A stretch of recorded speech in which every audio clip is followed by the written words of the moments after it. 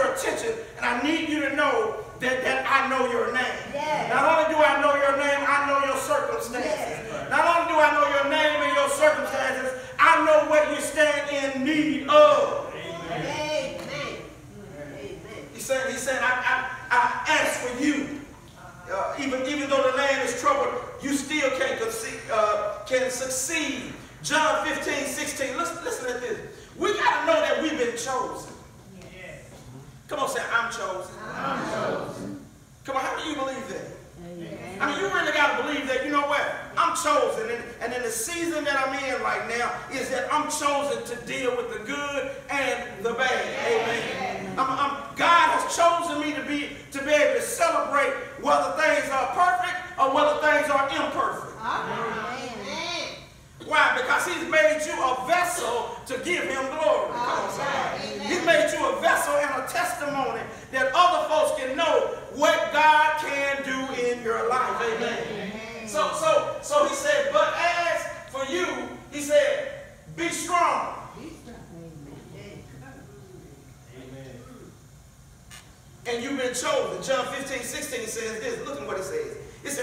been chosen. You have, wait a minute, it says, you have not chosen me, but I have chosen you. Can I tell y'all this? First of all, you need to know that you didn't find God. You know sometimes people say, you know, praise the Lord, I didn't find God.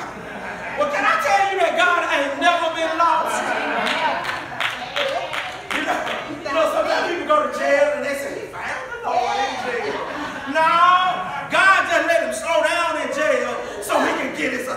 Amen. God was never lost. I just want you to know that. He know his direction. Amen. He was never lost. But the passage right here said, you have not chosen me, but I have chosen you. Watch this. Not only have I chosen you, he said, and I have what? Appointed. He has appointed you. He, he has a, he's, he's, he has appointed and placed and purposefully planted you. Ooh, I love that right there. He said he's appointed you.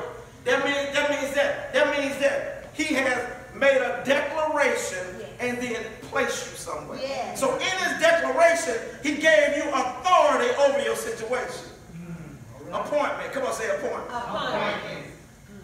Then he placed you. Then he placed you sometimes in the places that you might not be comfortable with, but you've been placed. Isn't that amazing how sometimes God will place us somewhere that I don't feel like that's my place to be because I just ain't comfortable. I ain't got no peace about this. Come on, somebody. But do you think that Jesus had peace about the cross?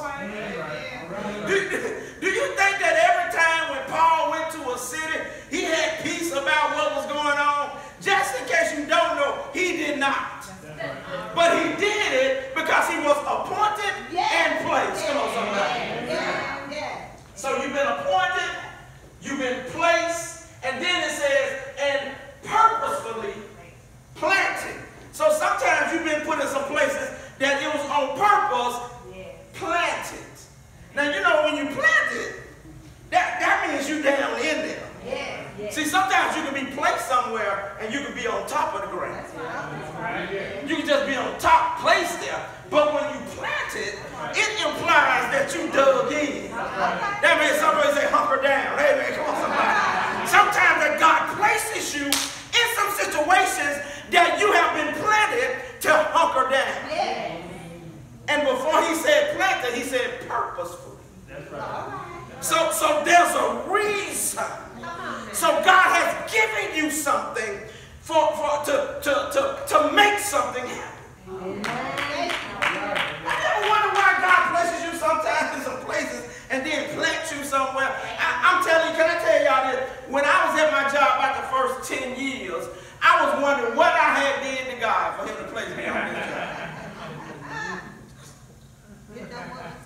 I was just praying, I was praying, Lord, I need a new job. I don't like this. I, I need to go somewhere else. I'm just getting tired of it. And every time I would pray about that, watch this.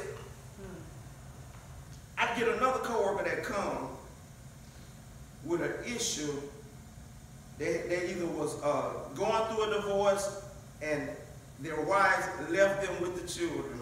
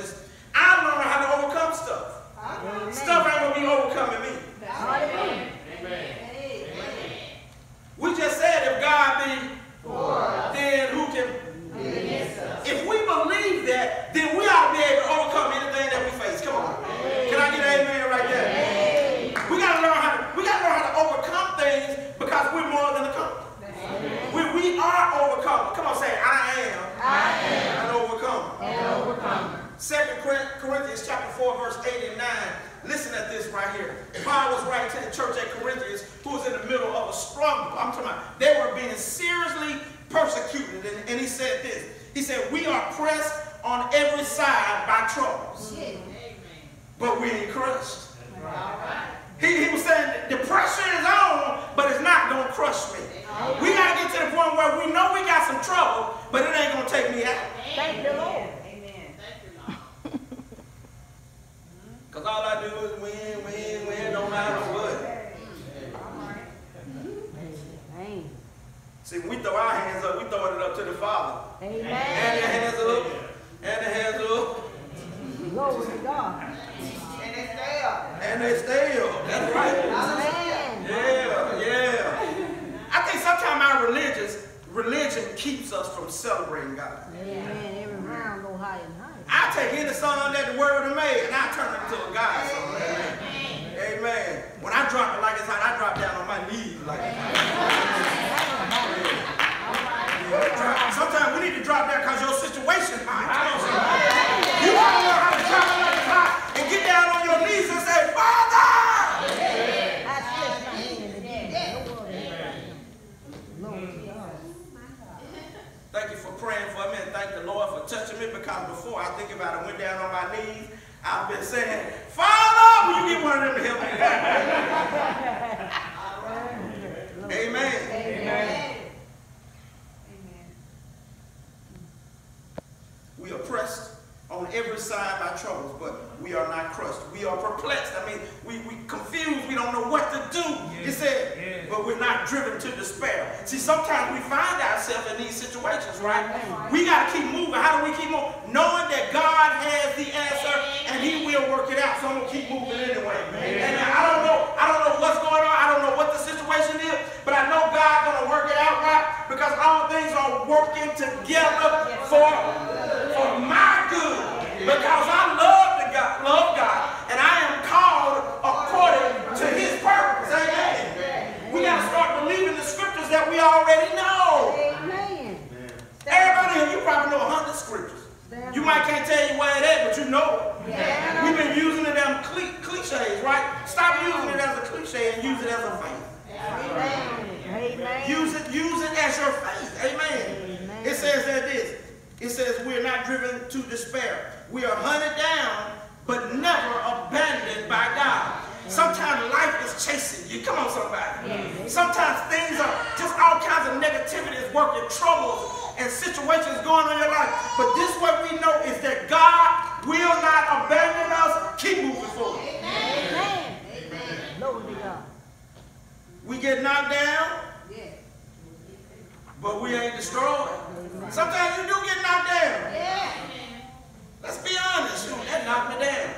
Amen. But I ain't destroyed. Amen. And what all he's saying is that I can get back up again. Stay down. That's it. He said, I ain't staying down, bro. Amen. Yeah, I'm a little dirty.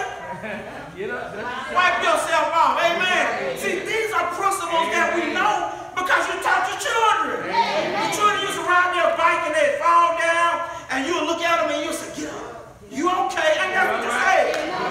You'll say, even if they got a little bruise on their knee, you'll say, you okay? You okay? We gotta learn how to say, you okay. You gotta learn how to tell yourself, I'm okay. Yeah, I got a little bruise right there. Yeah, I'm bleeding a little bit. Go see the nurse. Amen. Go see somebody that'll help you. That's it. That's it. Go give, go talk to somebody that's gonna give you some medicine. All right. Amen. Go talk to somebody that's gonna lay hands on you. That's Hallelujah. it. That's it. Being strong is making action out of what you already know in your head. See, see, being strong, being strong is, is, is, is become action and stuff that you already know. You already know I can do all through. You already know that. That's right. That's right.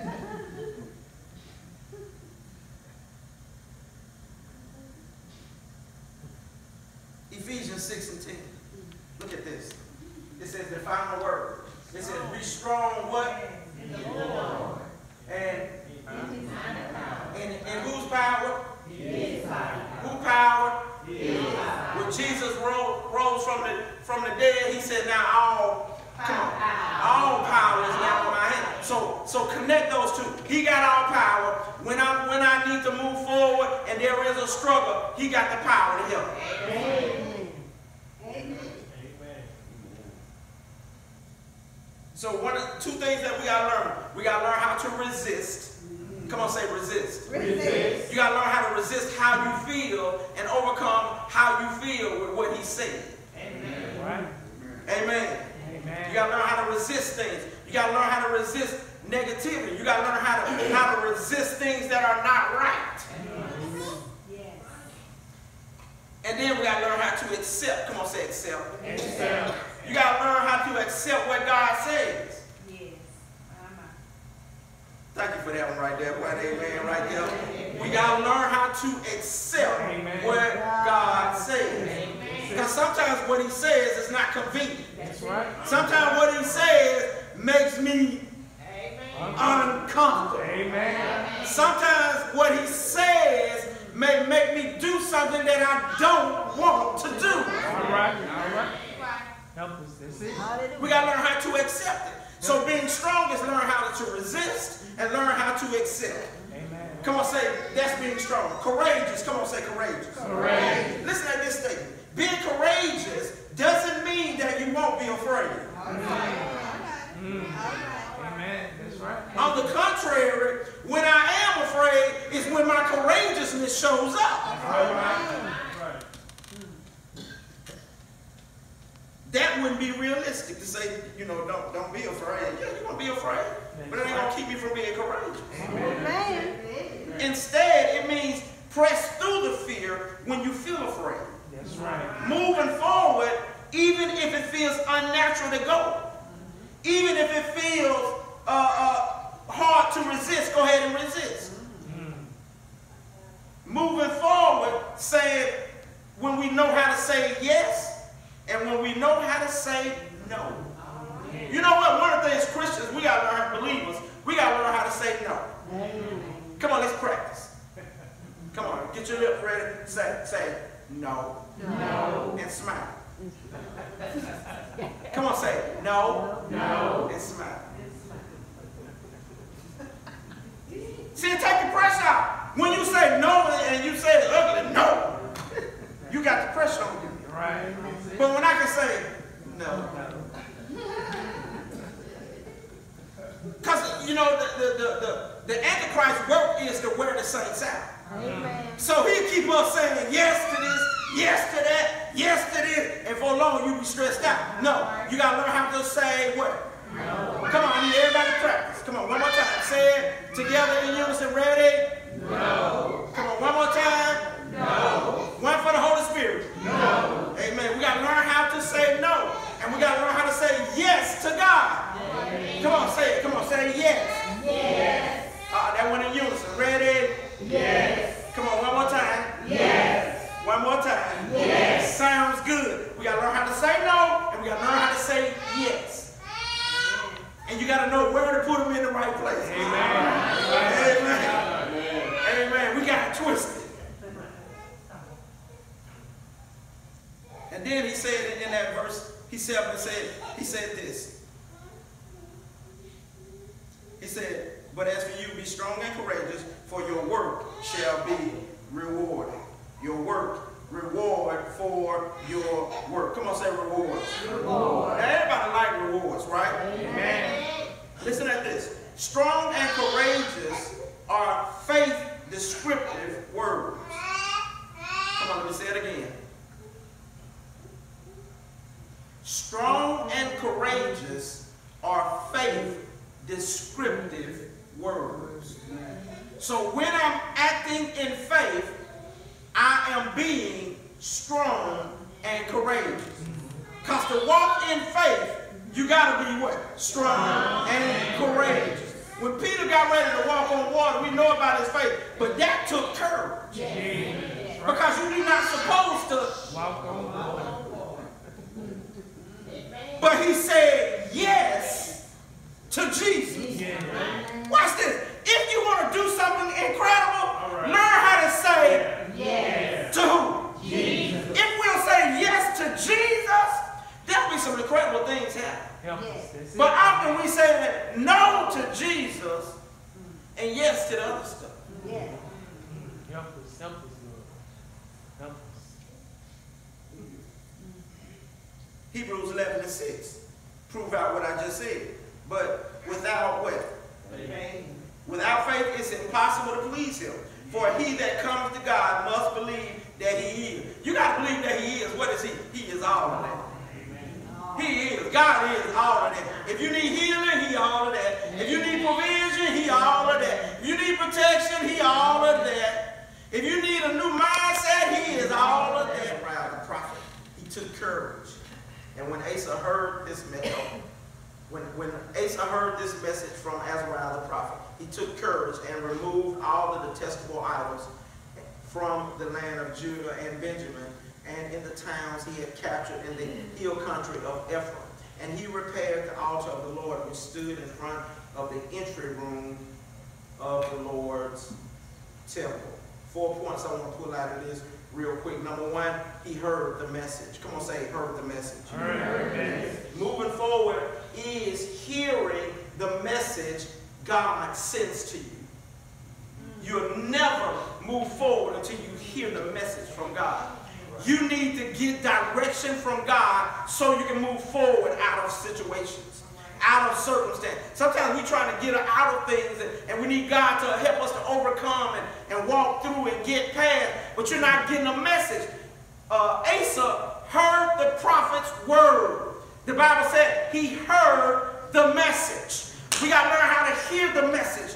When, when Pastor Rod is preaching, when Pastor Dre is preaching, when, when whoever is preaching, when you are getting the word, you got to hear what God is saying to you.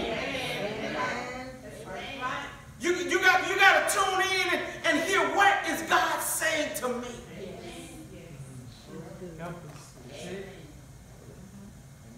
I know one day we're going to get our CDs back, but you can always go on our website and pull up a message because maybe you need to get it again so that you can hear the message that God is saying to you. You know why we go to church? So we can worship God and so God can speak to us. Amen. It said, it said that Asa heard the message from the prophet. Moving forward is hearing the message God sent for moving forward, for overcoming, for getting past. Faith comes by hearing. So you got to hear the message. He heard the message. Number two, he took courage. The message is given to you for you to take in courage. So watch this. When you get the message, when you get the word that God is saying, inside of what he said is your courage. Do you get that? Is that when God speaks to you, that's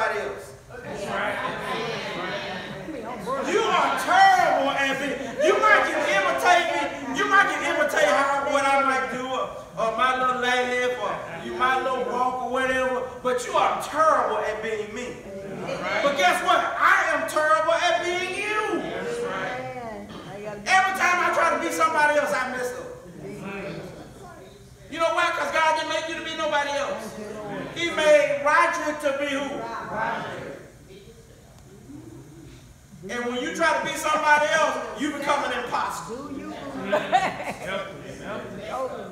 And I see people all the time on Facebook say, I hate fake people. so, so if we don't like fake people, don't be nobody else. Be yourself. Hallelujah. If people don't like you for you,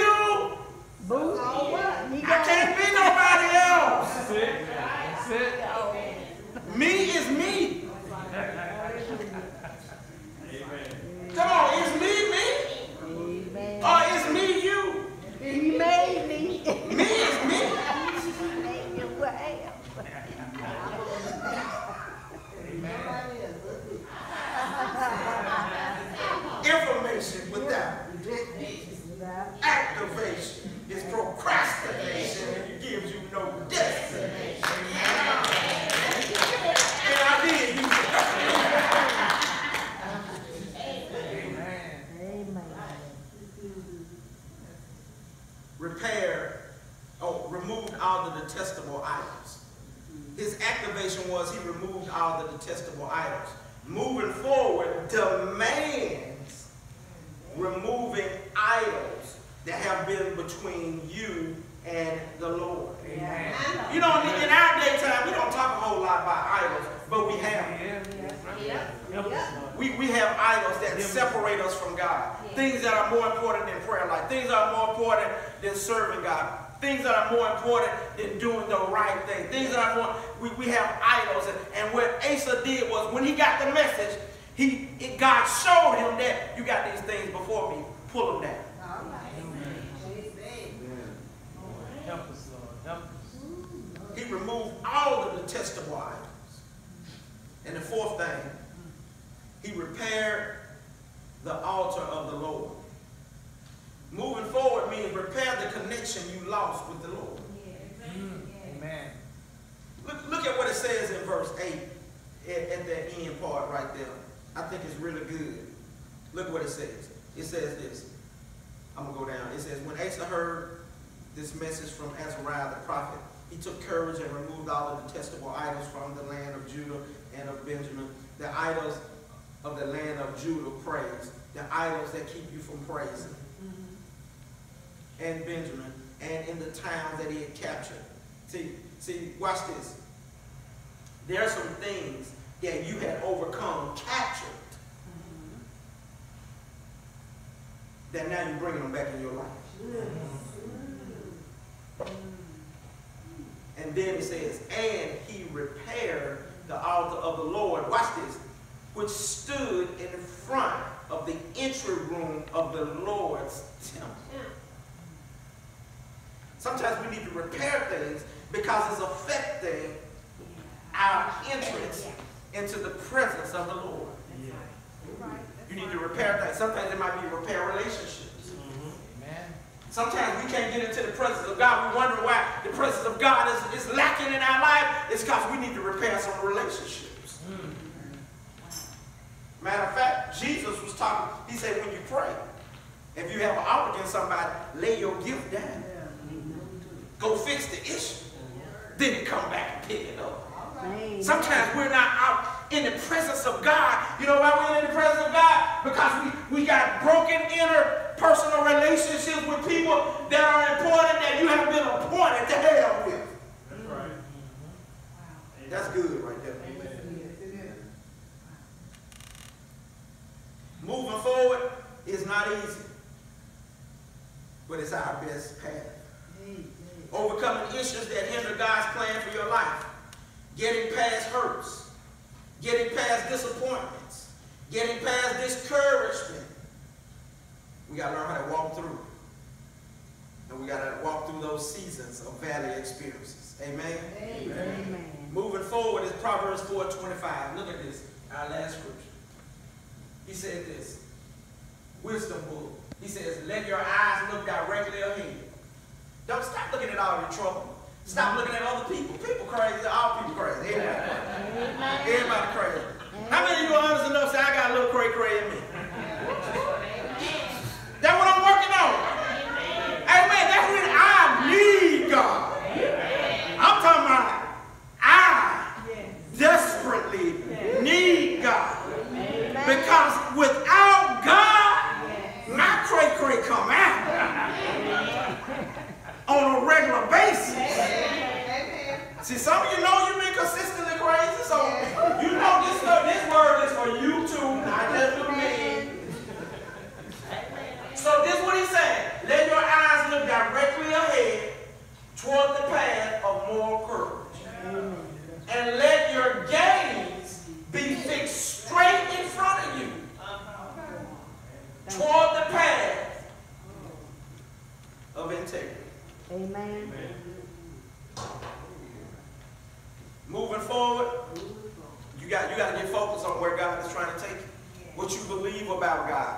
what you believe that God is doing in your life. I ain't gonna keep looking back at what I used to be. I'm gonna keep looking forward at what I'm about to be. Amen. I told you when we came in uh, a year ago, I said, you know, you see me now, but you watch me later. Amen. But we gotta get on our way, amen. Amen. We gotta get focused Thank on you. what God is trying to do in our life. Amen. Sometimes he give us just a little taste of what he's doing in our life, and we get excited, but then we won't be diligent.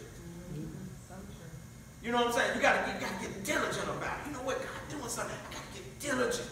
I gotta learn how to overcome some of this stuff. The little crazy stuff that folks say is not gonna work my nerve no more. Start laughing at some of these crazy folks. They comedian crazy. That'll be funny.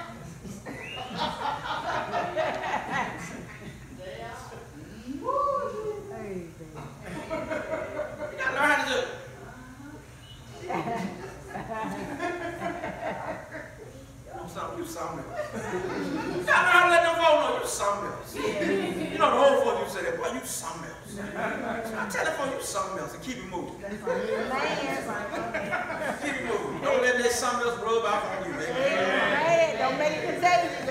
Amen. Let it rub off on me, amen. 'Cause I got somewhere to go. I got a destination. Be I used to be a procrastinator. Amen. I need to, I got a destination. And if you want your destination, you better Amen. activate. Move forward. Glory to God. Amen. Amen. Let's pray. Lord God, we thank you for what you said to us today, Lord. We take your word and it become active in our life. It help us to put away our because we want to get to our destination. And you've already planned out for our lives the impact. We want to be fruitful, Yes. so we plant it. Yes. And put good soil around us, Lord. Fertilize us Yes. so our fruit will continue. We love you so much. And we're so glad that you called us out and know our name. Now, Lord, work in us. Work in everybody that's in this room right now Yes. like never before. Lord, we, we have great expectations. Yes. Do a new work in us that we can help others. Please. We thank you in advance. Thank you. And Lord, I pray favor over everyone that's sitting here today, dear God. There might be some circumstances and situations, but I believe you built them to overcome. Yes. You made them to walk through the valleys Yes. Because you're with us. We thank you for it. Thank you. Lord, we are convinced that surely Sure. goodness and mercy is going to follow everyone that's standing in this place today. And they're going to dwell with you in your presence forever and ever. We declare it and decree it in Jesus' name. Jesus. Amen. Did our and the kids love this so much. Thank you so much for teaching our kids. We might get you more active in doing some of that stuff. Amen. Amen. That's prophetic. That's prophetic. That's prophetic.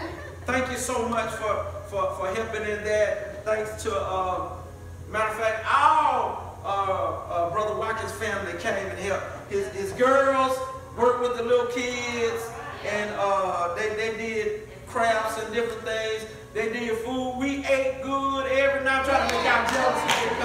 We ate good every night. I'm talking about every night. We ate. We ate good. We had plenty of food. We had, them hamburgers was hidden, wasn't it? We had hamburgers. These are the best hamburgers in the world. Some good hamburgers. We had hot dogs. We had taco salad. We had all kinds of stuff. We had a blast. And then Friday night, we had fun. We had the bouncy. We played games. The kids, the the uh, the uh, teenagers, they did obstacle course. I would have got in there and beat them, but I just chose not to. Yeah, Dre showed out and beat everybody and uh, collect four. I started to beat them, but sometimes you just got We had a blast. We did. We had a good time. And uh, thanks. Next year we want to do it again. We're gonna make sure we get some advertisement for because we want our event was too good to be just a few people that we we should have been packed out, but it was really, really good. Thanks for everybody that helped serve, that helped teach, that helped do everything. But I just want special thanks to, to Minister Dre for His wife, Friday, her, Jane got Friday stuff. Amen. And my wife absolutely took off Friday so she can be here to help. Amen. Amen. And I, I just want to say to you, babe, I do appreciate your incredible dedication that you have in New Covenant. I tell you, sometimes you get bothered me when you be fussing at me about stuff. but I know it's for the good of New Covenant. Amen. And I, I do appreciate you. Really, really do. She is very faithful. When she get committed to something, y'all know we be Texas that y'all get like at 1 o'clock in the morning. And she's committed to what she, when she get involved in something, she's all in. She is all in. So it's much appreciated to, to everybody. To, and everything was really, really, really awesome. Huh? We got some popcorn in the back there. We got a popcorn machine back there that that uh, we got back there. I think from uh, Dr. Watkins. Dr. Watkins did. She was preparing food. Everybody. She did a great job, and she was looking like she was really loving it. I figured we gonna start going over to Watkins career. Bro, Drake cooked uh, one night. He did the uh, what you that stuff? he did? I saw him over there, and it sounded like he was giving instructions. so, I, so, thank you, man. Appreciate it. And he was saying he was crying. He made me cry. Uh, we've been doing this for a long time, and uh, we share a lot with one another, and much appreciated. Much appreciated. There were times we do, men do this Thursday thing, and some several Thursdays just be me and him and we sitting there, and just like we laugh with all of them, we sitting there and laugh just me and him, and we get kicked out when it's just us two. so, uh, appreciate God placing us together to do